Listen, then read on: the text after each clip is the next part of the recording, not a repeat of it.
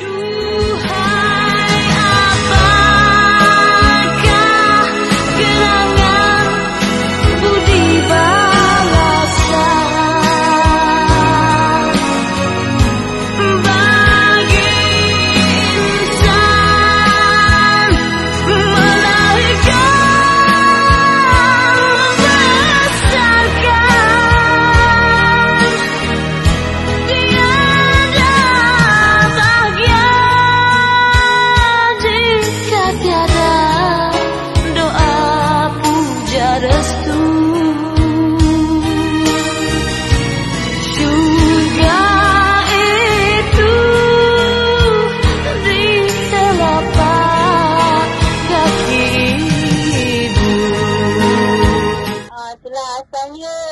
Actually dah okey dah kerja semua dah okey. Semuanya saya dulu kerja dekat Sepang. Lepas tu dia waktu kerja kat Sepang tu, Sepang Kelang tu, Mhm. sehari kadang-kadang saya ulang alik Sepang Kelang tu sampai satu jam satu jam lebih lah kalau jam kan. Mhm. Sebab actually saya ada rumah saya dekat Bangi tapi mak saya lah nak beli ikan kucing tu panggil saya, nak Hmm. pergi pasar panggil saya.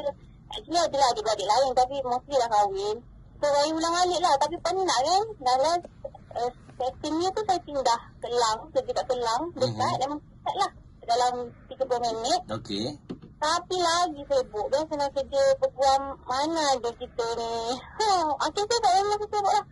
Yelah dengan urusan mahkamah semua kan. Ah, sampai semalam. So, Ah. saya satu turning point tu waktu tu mak saya call. Ah, dia call dia cakap, waktu tu dia tengah kerja, dia call dia cakap, apa cuti lah tiga hari anak anak buang kau ada main squash ni dia kata macam tu. Mhm. Lepas tu saya macam, ah tiga hari tu lah on the spot. Kita ni macam kerja kedai sendiri pula kan. Faham, faham. kalau dengar mak saya, Mhm. tak boleh mak. Orang kerja banyak kerja ni. Lepas tu dia macam diam. Jangan kau diam tu merajuk lah. Hmm. Lepas tu dia call lagi. Dia call lagi. Pak, tak boleh cuti ke? so, lepas tu banyak lah macam kita tengah kerja. So, saya kalau sehari memang tak ada sentiasa call dia. Oh. Dia dah makan ke kan tengah hari. Dah makan ke? Dia kata, alamak tak selera. Lama nak tunggu kau balik baru nak makan lah. Tak ada kawan lah. Ah, dia ada saja je tau. Dia, dia saja makan tau. Dia ajak saya makan, ajak kat luar. Mhm. Oh, Pa, you punya uh, mak ni macam nenek I. Hmm. Ni ke?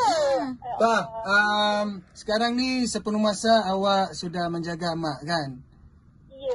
Ah. Uh, ini saya sangat faham sebab uh, kita sama apa? Saya punya ayah sudah tak ada. Ya, mak mak mak saja yang ada. Tapi pilihan awak ni bagi saya satu pilihan yang tepat. Sebab kenapa? Sebab awak sekarang ni tengah menjaga syurga. Kan? Syurga kan di tapak kaki ibu kan? Mhm. So dari sini kami sangat kagum dengan pilihan awak sebenarnya. Betul. Sebab Rina sendiri pun busy berlakon radio kan. Uh, kadang-kadang macam nak jarang-jarang balik bila syuting lewat. So nenek I pun kadang-kadang rindu macam itulah demam nak tak nak tak nak makan semua kan. So, tapi kadang-kadang disebabkan kekangan masa tu Betul. memang tak dapat nak spend time. Lagi-lagi semalam uh, birthday dia. So dia datang dia yang datang visit Rina. So kita memang boleh faham sangat. So uh, tak apa uh, apa mungkin Allah tu dia tutup satu satu pintu Mhm. ada satu pintu lain yang dibuka lebih besar ganjaran you. Ya. Ah, pa. Ah, kalau ada kata-kata untuk ayah, awak nak sampaikan apa? Ah, jangan tanya nak nangis seriously. Ah it's okay. Ah, silakan. Itu je saya 12 tahun dulu uh, yang saya cakap kan dalam berita tu. Memang uh, kata-kata sayang itu memang saya tak, tak sempat nak cakap. Mhm. Sebab uh, waktu ayah saya cancel. Sorry. Tak apa, tak apa. Silakan Pak. Ayah saya cancel sekejap je tau. Ayah saya cancel dalam cancel 6 bulan je. Mhm. Kita decide dia cancel terus stage 3 lepas tu uh, bulan 10 tu terus uh, dia teruk sangat lah. Mhm. So uh, waktu awal bulan 10 tu doktor panggil pergi hospital kan. saya lah yang pergi kan. Sebab saya yang waktu tu ada dengan abang saya.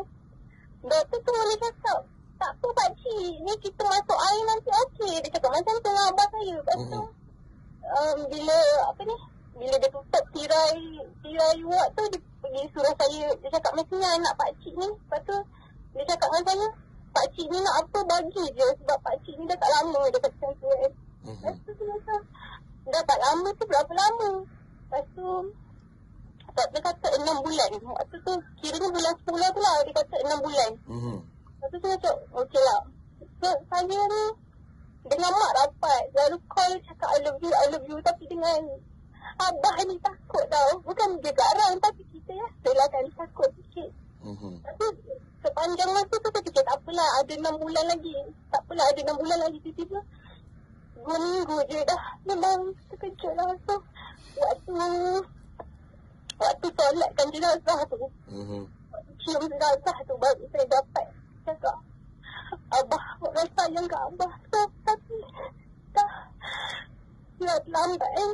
Tak apa Sharifah, mungkin apa yang dah jadi kat awak ni um, mungkin membuka mata awak untuk lebih spend time dengan mak awak. Uh, it's okay. Dia sesibuk strong. mana pun Hmm. manusia ni, yang penting adalah family. Betul. Ya, Apa? jadi kita harapkan Pah bersemangat Ya. kan. Kita harapkan cerita daripada Pah kita ni dapat memberikan satu inspirasi kepada yang lain. Terima kasih Pah.